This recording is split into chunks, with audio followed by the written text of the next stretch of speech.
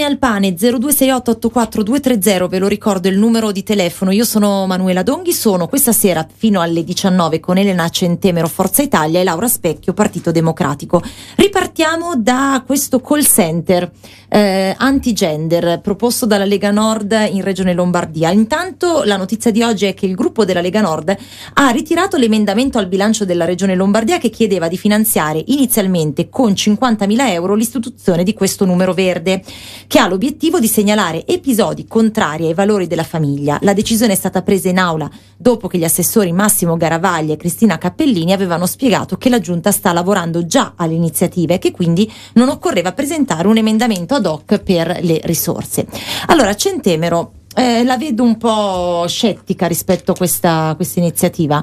Eh, sostanzialmente i genitori preoccupati, che preoccupati da quello che accade alla scuola potranno chiamare questo call center che sarà attivo 24 ore su 24 per segnalare eventuali atteggiamenti poco consoni ai valori tradizionali della famiglia. Centemero. Allora, io sono dirigente scolastico, quindi parlo anche da tecnica.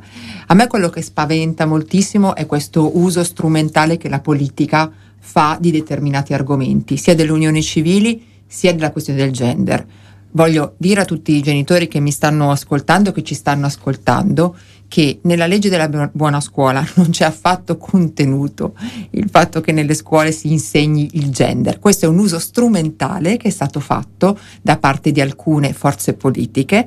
Eh, all'interno appunto le scuole possono dar vita a dei progetti che riguardano l'educazione all'affettività, che è sacrosanto che i nostri ragazzi apprendano in un luogo di, eh, di educativo come sì. può essere la scuola, proprio per prevenire anche tutte le forme di violenza che ci sono nei confronti eh, delle donne e per imparare il rispetto tra uomo e donna.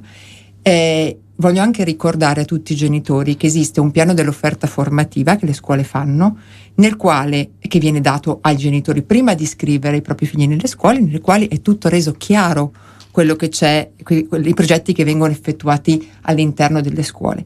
Oltretutto pro- questi progetti devono essere eh, ratificati dal consiglio d'istituto che è presieduto da un genitore, quindi io credo assolutamente che questa questione del call center anti-gender sia veramente una forma di discriminazione gravissima, sia una cosa strumentale dal punto di sì. vista politico e che tutte le famiglie possano tranquillamente per conoscere quale tipo di educazione sentimentale rivolgersi. Forse la Lega Nord ha paura di iniziative personali dei docenti, non tanto no, non nel programma che, contenuto nel, non è, non è un programma. Nel, nel, non possono esistere iniziative personali da parte dei docenti perché c'è una programmazione che è eh, decisa dai consigli di classe e dal collegio dei docenti, da tutti i docenti, ed è il preside che poi eh, diciamo sovraintende tutto questo e c'è poi il consiglio d'istituto, quindi i genitori non devono avere nessun tipo di paura, perché poi le scuole sono un luogo di educazione, eh, io vorrei, eh, sono stati strumentalizzati alcuni episodi che sono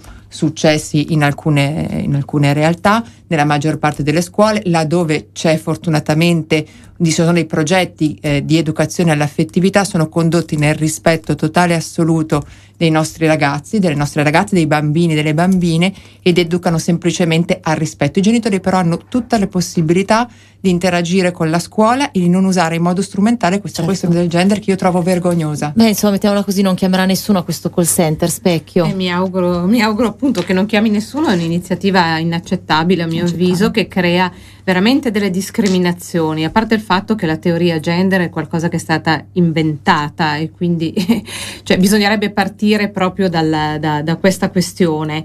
E in secondo luogo crea veramente delle, mh, la possibilità che chi giudica eh, chi è la famiglia tradizionale, quali sono i valori della famiglia tradizionale, chi si può ergere a giudice di questioni così delicate, così personali, proprio, che, che, riguardano proprio la, la, sfera individuale personale della, de, dell'individuo. Sì. Io lo trovo veramente inaccettabile e molto molto grave. Sì, sì, sì. si riduce tutto un po' a, a, delle rimostranze che arrivano magari anche da persone che non sanno esattamente di cosa si sta parlando, no? perché poi l'errore errore quello, che allora uno pensa al gender, basta solo un, un qualcosa che esuli da, so, da, da, da, quello che uno considera la famiglia tradizionale, subito si Io potrebbe scatenare sem- il putiferio. Semplicemente il dire che il gender, no? in, in, il gender è basato proprio sull'identità, su un'identità maschile e femminile comunque, e quindi non c'è l'annullamento del maschile e femminile, il maschile e il femminile esistono e sono due identità che si rapportano tra di loro. Questo bisognerebbe spiegare. Evidentemente le persone che parlano non sanno neanche di cosa stanno parlando. Ecco, forse bisognerebbe eh, formare prima tutti su, questa, su queste definizioni, no? affinché poi si possa prendere anche posizione da una parte o dall'altra, perché poi le, le opinioni sono sempre eh, ben accette tutte. Specchio si voleva Beh, aggiungere sì, qualcosa? volevo aggiungere questo, che non è solo questione di formare, è una questione culturale. Certo, Quindi, sì, formare intendo dire far, far conoscere le, gli aspetti basilari gli di un argomento. Gli aspetti basilari, però è vero che questo paese, su, dal punto di vista proprio dei diritti civili, è ancora molto arretrato. Questo bisogna, bisogna purtroppo, sì. eh, bisogna purtroppo riconoscerlo e su questa arretratezza bisogna lavorare, soprattutto all'interno delle scuole, non creando discriminazione, ma eh, come si diceva, facendo facendo capire quali sono diciamo, le chiavi di lettura per poi poter certo. fare delle scelte senza appunto discriminare. Sì, c'è poi abbiamo un, un ascoltatore. Chiudo, sì. velocemente dicendo, allora, la realtà che abbiamo di fronte è quella in cui noi abbiamo delle famiglie che sono, non sono più le famiglie tradizionali esatto. di una volta in cui c'era marito, moglie con i bambini. Abbiamo delle famiglie anche eh, composite, abbiamo genitori famiglie che vengono da esperienze, no? famiglie allargate, che vengono da esperienze matrimoniali precedenti, figli da matrimoni diversi, ci sono persone dello stesso sesso che convivono. La famiglia è un concetto che sbagliamo a voler definire semplicemente fondata sul matrimonio e eh, fondata, cioè, fondata sul matrimonio tra uomo e donna. Perché? Perché la realtà ci, trova, ci porta di fronte ad una, ad una, situazione non solo tra le, delle coppie omosessuali, ma delle famiglie normalissime. Allora a questo punto io che convivo con una persona eh, so, devo essere discriminata perché ho una famiglia allargata. Che cosa vuol dire? Certo. Allora o guardiamo in faccia la realtà e cerchiamo di tutelare quella che è la realtà che noi abbiamo di fronte, queste famiglie, i bambini che fanno parte di queste famiglie, oppure veramente noi ci agganciamo ad un passato che però sappiamo benissimo non potrà più sì, essere. Sì, sì, il senso è che un bambino, una bambina può avere un fratello, una sorella e avere però dei due, genitori diversi. Esatto, dei genitori ma la realtà di perché, fatto, perché dobbiamo discriminare questi, queste certo. famiglie? No, certo, Ni- poi discriminare la realtà significa anche creare proprio delle distorsioni. Sì, sì, sì. E queste sono pericolose e sono pericolose perché poi vediamo episodi molto anche drammatici. Sì, bisogna stare attenti sicuramente. Proprio dei, dei minori. I bambini. Sì. Nicola, buonasera. Buonasera Manuela. Ciao Nicola. Prima di tutto auguro alla sua persona un felice Natale e un buon anno nuovo. Nicola, ricambio ovviamente. Ecco, grazie Emanuele. Mentre per i politicanti vi auguro di fare un Natale e un fine d'anno come lo farà Nicola. Cioè, come, come, passerà? Eh, dici, cosa farà qui, Nicola? Qui mi fermo, eh, Manuela. Eh, capiranno loro come sta passando la gente eh, queste feste qua, che tanti magari non hanno da mettere neanche un piatto sulla tavola a Natale. Mm. In tutti i modi andiamo avanti. Va bene. io vorrei parlare un po' della, eh, della legge di stabilità. Sentiamo. Prima, prima si chiamava finanziaria perché mi hanno portato indietro di 50 anni questa legge di stabilità attuale, perché io ho visto regali, regalie dappertutto. Che cosa non ti piace della legge di stabilità, Nicola? Eh, Così andiamo lo, al dunque. Sto dic- lo sto dicendo, sì, lo so. Sì. Allora, c'era un emendamento che a me mi andava bene, che parlava che l'accompagnamento per i tetraplegici e paraplegici non dovrebbe essere, ehm, come si suol dire, reddito, è stato bocciato e poi sento che danno 9 milioni di euro al casino di Campione. Ma bravissimi questo governo, Santa Madonna. Mentre la spesa per i tetraplegici e paraplegici era di 3 milioni di euro. Va bene. 9 milioni si sono trovati per il casino. 3 mm. milioni, ma adesso questi qua si troveranno in difficoltà perché essendo l'accompagnamento lo fanno passare per reddito, tanti servizi questi gli salteranno. Va bene meno. Nicola.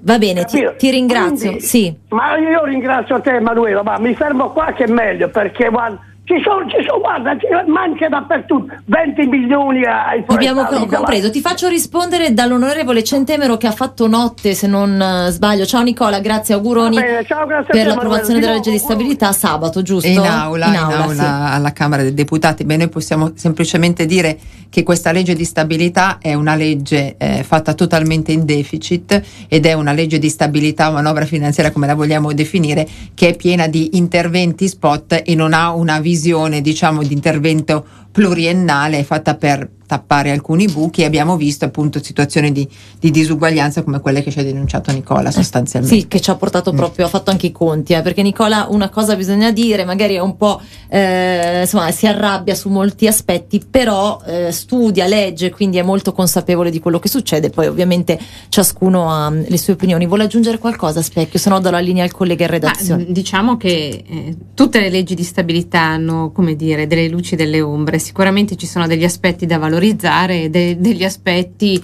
eh, da migliorare, questo, questo, è sicuro. Poi eh, su, sulle questioni particolari che sollevava la persona che ha telefonato, certo io mm. non avrei dato soldi a un casino, ecco, se questo è stato... ecco, magari su questo potete essere d'accordo, no? Sì, Lui dice esatto. come tolgono i soldi a chi ha bisogno, la, una categoria più debole, però li danno a, esatto, ci sono a chi vuole degli andare... interventi che avrebbero potuto essere dirottati in altre direzioni, insomma. Sì, sì. Va bene. E su questo il Parlamento ha, insomma... Si è scatenato? Si è scatenato, sì, dobbiamo dire le cose però per poi, come vabbè, sono. ricordiamo che ieri è stata approvata al Senato, quindi è fatta. Beh, si può sempre migliorare. Sì, sì, sì. È qualcosa che non, non, non, non si, si, può, può più sì, rivedere. Certo. Va bene. Filippo Colombo dalla redazione, a te.